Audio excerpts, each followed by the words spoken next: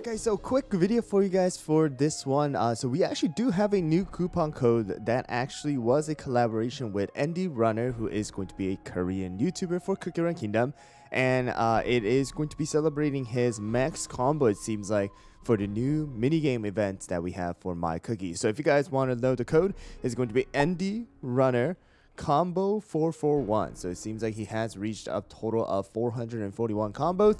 And if you guys do click it and you guys can see right there done login and let's go into the game. And let me show you guys exactly what you get because it is a pretty good chunk of rewards that we are getting for this.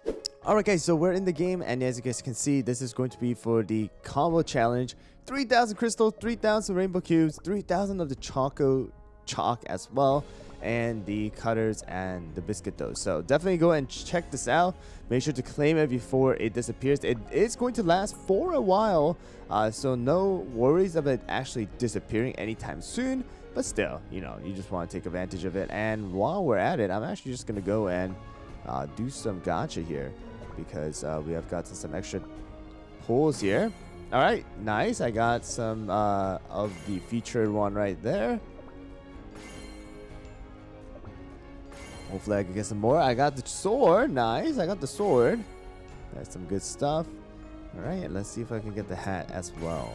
Alright, kind of looking forward to the hat. Oh, no, never mind. We're not going to get uh, the hat, but definitely got the sword right there, so that's some good stuff. Anyways, guys, make sure to go and play the minigame as well, and you know, it would have been really nice if they also got me a coupon code as well. I got a combo of 407, a little lower than ND Runner, but uh, still in the top 1% here still.